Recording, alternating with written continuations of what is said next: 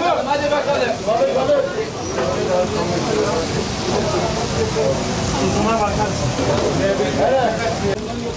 Bu hangi kanal o? Beni güzel ve yaşlı gibi öyle gibi çıkartmaz lazım. Çek devrim, çek.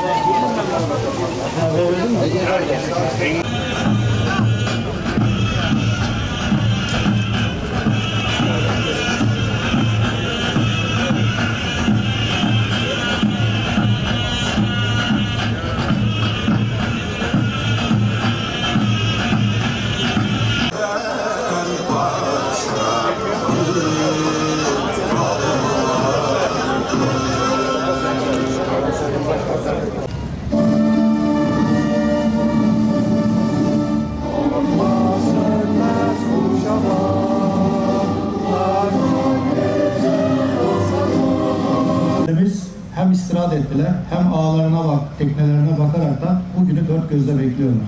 Amaçları kârlı bir sezon geçirmek, Türk halkına balık yedirmek. Tabii ki meşakkatli bir iş yapıyor reislerimiz.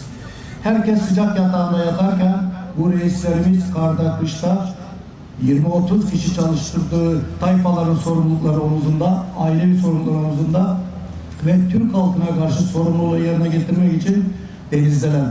Bu reislere teşekkür ediyor. Hepsini alnlarından öpüyorum ki Türk milletine hijyenik şartlara uygun balık yedirip ve Türk ekonomisine büyük katkı sağladıkları için. Günümüzde sürdürülebilirliği sağlayabilmek, balıkçılık sektörünü kazançlı bir sektör olarak devam ettirebilmek için bazı tedbirlere ihtiyaç vardır. 2007'den bugüne kadar ortalamasına baktığımızda avlanma büyüklüğüne ulaşmış yatay bir seyir elde ediyoruz. Biz eskiye dönmek, eski balıkları yakalamak belki mümkün olmayabilir ama bugünleri korumak zorundayız. Bugünleri koruyabilmek için kısaca kesinlikle e, bütün Ege balıkçılarının da arzu ettiği kota ve bölgesel balıkçılığa çok çabuk geçmek zorundayız. Eğer biz kota ve bölgesel balıkçılığa geçebilirsek sürdürülebilirliğin ilk adımını atmış olacağız.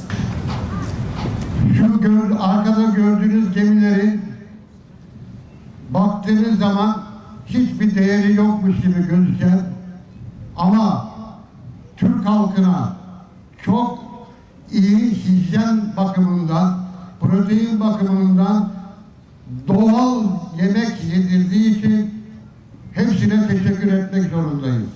Ve bu gemilerimizi en ufağı dahi şu anda 1 milyon dolar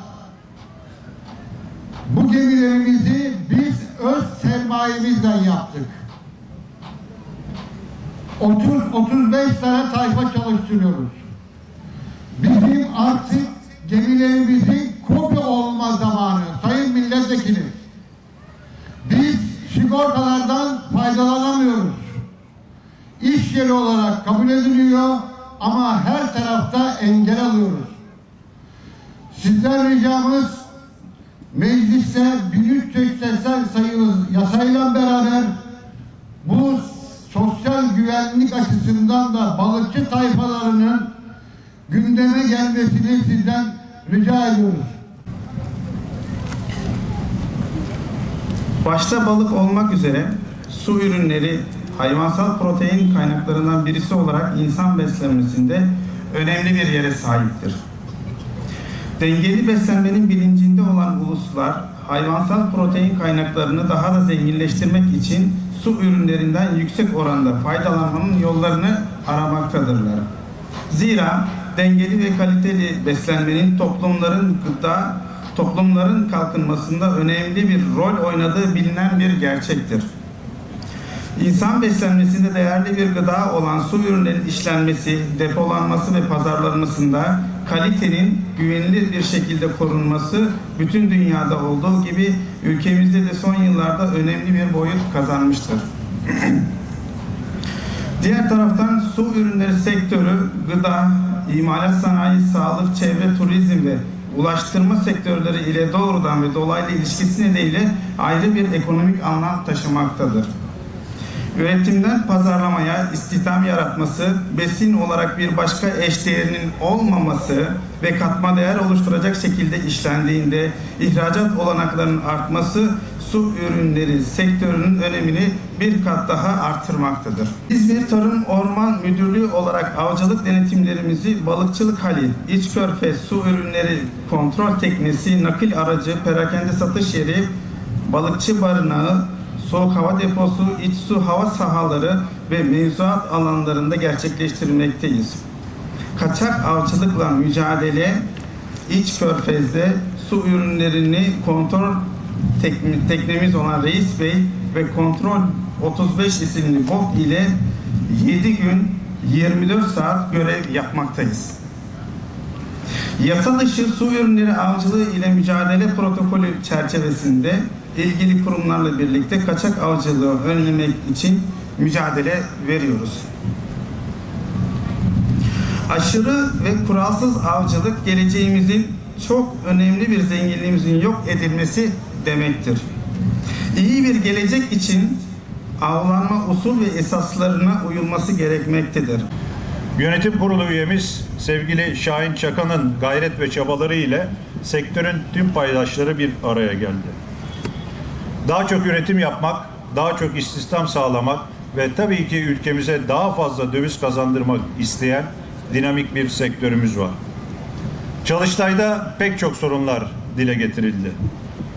Su ürünleri sektöründe ruhsat düzenlenmesi yapılması, avcılık balıklarında uygulanan KDV oranlarının yüzde bire düşürülmesi, balıkları boşaltacak balıkçı limanlarının yapılması, Orkinos balığının Türkiye içinde tüketilmesi için kota verilmesi, sektörün tek bir yasal çatı altında toplanması, su ürünleri organize lojistik bölgesinin oluşturulması, su ürünleri tüketiminin arttırılmasına yönelik tanıtım faaliyetlerinde bulunulması ve 1380 sayılı su ürünleri kanunu yerine sektörün hızla değişen ihtiyaçlarına cevap verebilecek Avrupa Birliği'ne uyumlu, sektörün de görüş ve önerileri dikkate alınarak yeni bir kanun taslığı hazırlanması en önemli taleplerimiz. Bu taleplerimizi Sayın Bakanımızın bir İzmir ziyareti sırasında şu anda aramızda da bulunan İzmir Milletvekilimiz Sayın Atilla Kaya Bey'in de katkılarıyla kendisine ulaştırmak, kendisini bu konuda bilgilendirmek şansına sahip olduk. sektöre e, hayırlı uğurlu olmasını, bol kazançlı olmasını diliyorum. Sizlerin istek ve dilekleri doğrultusunda e, balık halimizde çok büyük yenilenmeler yaptık. Hepinizin malum olduğu üzere. Yine de sektörümüzün Büyükşehir Belediyesi'ne düşen her konuda yardımcı olacağının bir kez daha burada altını çizmek istiyorum. Bizim körfezde körfez temizliği konusunda, körfezde balık üremesi konusunda elimizde tek kalan Homa dalyanının rehabilite edilmesi konusunda ki üst sudaki kazıcı teknelerimiz tam iki buçuk sene Homa dalyanını sağlamlaştırdı ve derinleştirdi.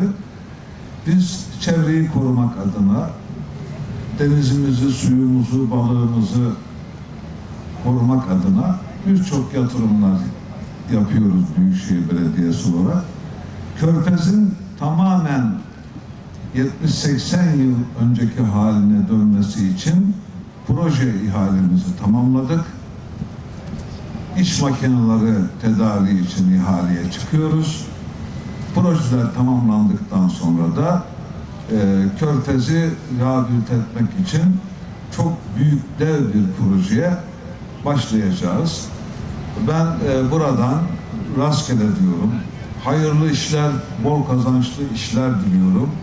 Kazasız belasız bir sezon diliyorum. Hepinizi en derin saygılarımla selamlıyorum.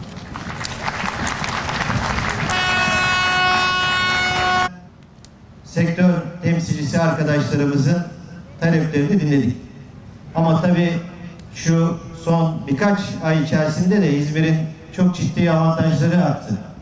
Yani üzerine eklene eklene İzmir koymaya devam ediyor. Evet, değerli kıymetli Ticaret Odası Başkanımız Sayın Mahmut Özgener de ifade etti ki ben onu çok bu noktada İzmir'in son zamanlardaki önemli şansı olarak görüyorum. Hatta buraya gelmeden yine beraber yine tarım sektöründe özellikle çok büyük bir canlandırma yaşayacak Menderes'te planlanan organize sanayi bölgesi için yer noktasındaki arayışlarla birlikte olma şansını yakaladık. ve Ayağımızın tozuyla onunla beraber buraya geldik. Sayın Başkanımızın da ifade ettiği gibi yine İzmir'in yeni şansı olan İzmirli Tarım ve Orman Bakanımız Sayın Bekir Pakdemirli'ye zaten sektörün sorunlarını yönetim kurulu üyemiz Şahin Çakan'la birlikte iletme fırsatını, imkanı buldular. Arkadaşlar.